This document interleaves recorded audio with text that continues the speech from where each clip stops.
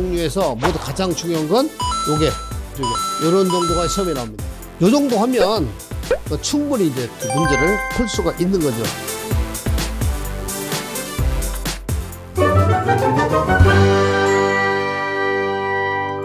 견강 개념의 종류는 이제 이 다섯 가지가 있는데요.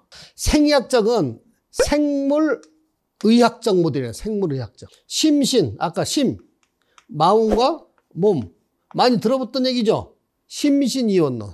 자, 생태학적 모델은 숙주, 병인, 환경. 사회 생태학적 모델은 숙주, 환경, 개인 형태. 그것도 행태라고 써놨잖아요. 요, 요 설명을 드리면. 이건 하나의 스타일, 타입. 이 행태는 attitude and behavior예요. 태도와 행동. 그래서 가능하면 이 어느 책에는 형태라고 번역한 책도 있기 때문에 써놓은 거예요. 저는 이 행태라고 개인 행태가 맞다 생각을 합니다.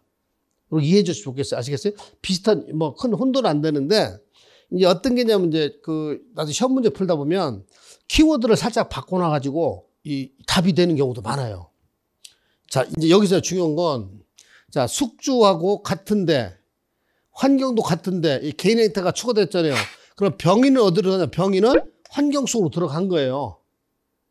그래서 개인 행태가 추가된 겁니다. 그 표시해 놓으시기 바랍니다.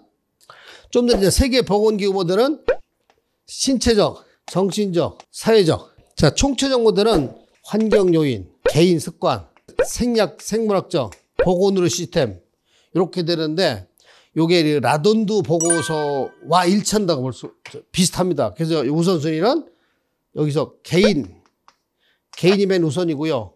이제 생리학적, 환경, 보건의료 시스템 요 요 그 부등호 표시를 꼭 해놓으십시오. 다음 중 총체적 모델에서 그 어떤 게 우선순위냐 그 여 비교 라돈드 보고서 라돈드 보고서 보면 개인 그 생활 형태가 50%고요. 요게 20, 20, 10%라고 이렇게 돼 있어요. 라돈드 보고서. 그래서 초, 여기 건강 개념 종류에서 모두 가장 중요한 건 이 모델이에요, 현재. 요게.